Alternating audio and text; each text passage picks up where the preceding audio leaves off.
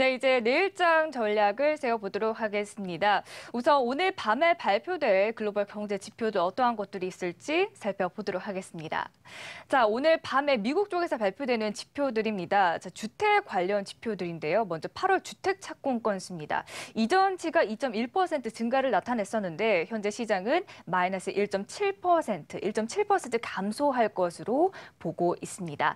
그리고 8월 건축 허가 건수인데요. 이전치가 마이너스 마이너스 0.1%를 나타냈었고 예상치는 2.5%도 플러스권으로 전환할 것으로 보고 있습니다. 현재 두 지표 혼조세를 나타내고 있고요. 그리고 또 하나 어, 빅 이벤트죠. FOMC 회의가 바로 오늘 밤 우리 시간으로 오늘 밤에 열리면서 현지 시간으로 20일과 21일에 진행이 되면서 FOMC 회의 결과는 바로 우리 시간으로 목요일 새벽 3시에 발표가 될 예정입니다. 그리고 내일에도 중요한 이벤트가 바로 일본 쪽에서 진행이 되게 됩니다. 바로 일본의 어, 금융정책 결정 회의 결과가 발표가 될 예정입니다. 이 부분도 또 잘 체크를 해보셔야 되겠습니다. 자, 네명의 전문가들은 내일 증시 전략 어떻게 잡고 있을지 그 전략 함께 살펴보도록 하겠습니다. 우선 오늘의 주제는 최근 돌아온 중소형 주의 강세 지속될까인데요. 전문가들의 의견 하나씩 살펴보도록 하겠습니다. 자, 먼저 SK증권 안산지점의 김동엽 부장은 낙폭 과대 종목부터 추세 전환 선두에 나설 것이다. 유동성 장세가 연장 시에는 성장주들이 앞장설 것이라고 이야기를 해주셨고요. 메리츠종금증권 광화문센터 이서구 부장은 단기 분기 코스닥 상대적인 강세가 이어질 것. 오늘 장에서도 코스피에 비해서 코스닥의 강세가 눈에 띄었는데 이러한 이야기를 해주셨고요. 중기, 중대형주 중심의 추세가 상승이 예상된다라고 이야기를 해주셨습니다. 자, 박영호 파트너의 경우는 중소형주 잠시 쉬어갈 때라고 이야기를 해주셨고요. 제약 바이오주의 순환매가 예상이 된다라고 의견을 제시해 주셨습니다. 나영호 파트너의 경우 단기 기술적인 반등은 경계해 볼 것, 무리한 추격보다는 코스닥이 반등할 시에 차익 실현을 해보자라고 어, 권고를 해주셨습니다. 자, 이 네 분의 전문가들 가운데 오늘은 아, 메리츠 종금증권 광화문 금융센터 이서구 부장의 의견 함께 전화로 이야기를 나눠보도록 하겠습니다. 안녕하세요. 네, 안녕하세요. 네. 자, 오늘 시장, 어, 큰 폭으로 하락했던 중소형주들의 반등이 상당히 어, 반가웠던 하루였던 것 같습니다. 어, 이런 중소형주의 상대적인 강세가 우선 FOMC 회의 이후에도 지속될 것인지 무슨 상승할 만한 이 모멘텀이 있는 건가요? 예, 일단은 낙폭 과대에 따른 반등, 즉 제자리 찾기가 되는 과정이라고 보시는 것이 맞는 것 같습니다. 어, 그렇기 때문에 단기로는 중소형주, 즉 코스닥과 거래소의 중소형주들의 반등 강도가 좀 더 셀 것으로 생각이 되고요. 중기로는 중대형주가 상승세를 이어가면서 코스피, 즉 거래소의 상승세가 중기로는 더 이어질 것이기 때문에 좀 전략적으로 좀 다른 흐름이 어, 우리가 전략적으로는 다르게 짜나가야 될 것 같습니다. 어, 그 이유로는 지금 어 지금 추석 연휴 이전에 상당 폭의 연 연거포 하락이 있었죠. 그런 하락에서 가격 부담을 상당히 덜어냈습니다.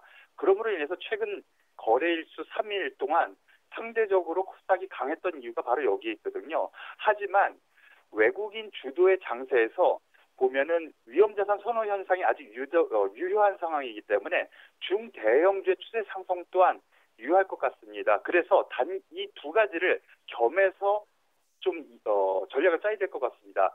결론적으로 중성주의 상대적 강세는 한 일주일간 더 이어질 가능성이 크다고 봅니다.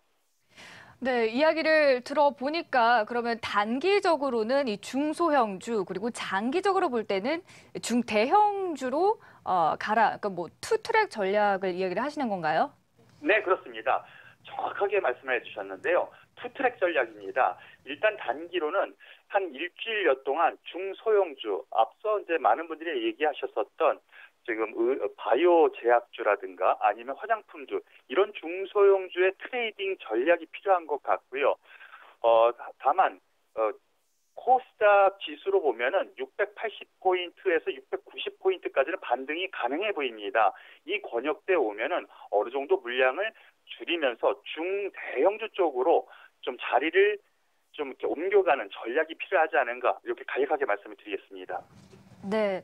자, 코스닥 지수의 경우 680에서 690포인트까지 갔을 경우에는 좀 중소형주에서 중대형주 중심으로 포트폴리오를 좀 바꿔보라는 이야기까지 함께 들어보았습니다. 자, 그렇다면 내일장 체크 포인트는 어떻게 잡으면 좋을까요? 예, 일단은 최근 증권사죠. 금융 투자 쪽에서 상당폭의 매물이 나왔습니다. 즉 기관의 매매 동향이 주된 체크 포인트라고 보시면 되겠고요. 그리고 내용적으로 보면은 코스닥 및 중소형주지 강세를 이루면서 거래소의 산업재가 많이 하락했습니다. 이런 조정을 통해서 산업재가 어떻게 움직이는가, 내일 반등 여부를 좀 봐야 될 것 같다. 바로 이 부분을 체크 포인트로 삼으셔도 되겠습니다. 네, 이렇게 해서 중소형주 중심의 그리고 또 기관 매매 동향까지 어, 체크 포인트로 잡아 주셨습니다. 자, 오늘 이렇게 시장을 보자 하니까 오랜만에 중소형중의 반등이 상당히 눈에 띄었는데 한 가지만 더 여쭤볼게요. 이 대형주 대 중소형주 약간 이 포트폴리오 전략을 어떻게 짜야 하는가에 대한 이야기도 계속 나오고 있고 어, 오늘 장 이렇게 보면은 삼성전자의 경우는 계속해서 상승 흐름을 보이고 있는데 유망 업종 업종을 이제 중소형주 외에 그러니까 중소형주 안에서 유명 업종을 좀 따져본다 하면은 어떠한 것들이 좀 있을까요? 예, 단기적으로 뭐 일주일 다, 즉 다음 주에 제가 다시 말씀을 드리기 전까지는 코스닥의 중소형주 중심의 움직임이 좀 더 강할 것이라고 결론적으로 말씀을 드리겠는데요. 여기에서 제약주 쪽을 먼저 보셔야 될 것 같습니다. 어, 그 중에서도 한미약품이라든가 영진약품 이렇게 제약주에서도 뚜렷하게 외국인과 기관의 매수세가 동반되게 들어오는 종목들이 있거든요. 제약주에서도 이런 어, 종목들에 좀 집중을 하시고요. 그리고 소형주에서도 남선 알미늄 이런 소형주에서도 외국인과 기관의 매수가 지금 이제 쌍끌이로 지금 들어오는 종목들이 꽤 많습니다. 이런 수급 우량주를 골라서 공략하는 것이 가장 지금 적합한 전략이 아닌가 이렇게 말씀을 드리겠습니다. 네, 이렇게 업종별로 보았을 때 우선은 외국인과 기관의 양 매수가 들어오는 종목군들 위주로 어, 투자 전략을 세워봐라라는 의견까지 함께 들어보았습니다. 자, 지금까지 메리트 종금증권 광화문 금융센터의 이서구 부장과 함께 이야기 나눠보았습니다. 감사합니다. 네.